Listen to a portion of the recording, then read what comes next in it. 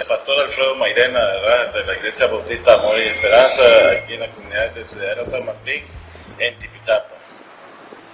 Cuéntenos un poco este, lo que está pasando y que nos perjudica tanto en, el, en los tranques y en el paro, y qué importante el diálogo.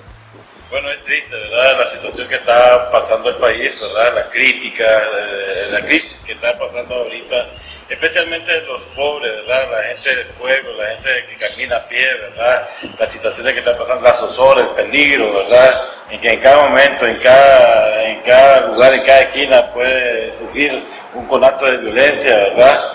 Y eso es triste, ¿verdad? Porque también se está perjudicando, ¿verdad? El desarrollo del país, de las comunidades. Nosotros tenemos aquí, atendemos un comedor, ¿verdad? Dos comedores, ¿verdad? Con otro campo que tenemos al lado de Chilamatillo, ¿verdad? Y pues tenemos dificultades en trasladar la comida, en recibir la comida, ¿verdad? Cruda, ¿verdad? Y trasladarla también. Tenemos muchas dificultades por consecuencia de los tranques, ¿verdad? Hay muchos niños, ¿verdad? Que están eh, sin alimento en su casa. Hay muchos niños, ¿verdad? Que no están siendo alimentados adecuadamente, ¿verdad? Por producto de esta situación crítica que estamos pasando acá en, en ¿Usted qué opina de los, de los, de los paros que están haciendo? de la violencia y todo lo que está ocurriendo. Hablaron de que los paros el paro iba a ser algo, algo voluntario y hablaron con las empresas que hacen voluntarias, pero muchas empresas aquí en Tipitapa no quisieron hacer paro, pero fueron coercionados completamente. El transporte, muy de mañana quemaron un bus que iba con pasajeros que iban a trabajar a la zona franca y yo no lo creo así, ¿verdad? Que queme una unidad de transporte, ¿verdad? Este pobre hombre, el dueño de ese bus, pues quedó sin trabajo, el chofer quedó sin trabajo, el ayudante del bus quedó sin trabajo. Eso es triste, ¿verdad? De, que seamos a, hacer un paro a la fuerza y ellos necesitan, tienen apoyo, quieren apoyo del pueblo, tiene que ser de manera voluntaria, no a la fuerza, ¿verdad? Que entrar a la casa de una persona ahí y de desbarataron su pequeña empresa que tenía ahí una, imprenta, ¿verdad? Con equipo nuevo y todo eso, entraron, asaltaron y saquearon toda la, ahí porque el señor estaba trabajando, tenía su gente trabajando, y esto es que es una empresa familiar.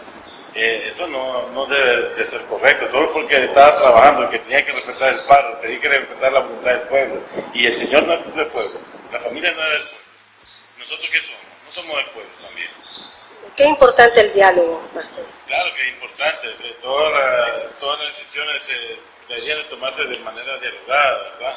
Ahorita estamos en una situación pues que, que, que no, no, hay, no, hay, tolerancia, ¿verdad? El diálogo, esta, mi, mi opinión, ¿verdad? Como, como evangélico, que también deberíamos estar ahí representados en el diálogo.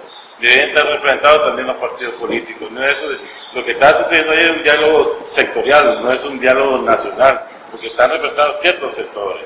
Además, la, entidad que está eh, sirviendo de mediadora no tiene moral para ser mediadora, porque estos andan ahí eh, confrontando al pueblo, andan ahí este, dirigiendo esa, esa, eh, todos esos atracos, toda esa levantada de barricadas.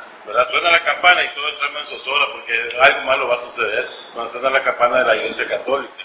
Esta persona no tiene moral para dirigir un diálogo debería tener aquí, debería haber aquí un organismo internacional como la OEA dirigiendo el diálogo, ¿verdad? Mediando, ¿verdad? Porque estos son jueces y parte, esto no puede ser juez y parte de la Iglesia Católica.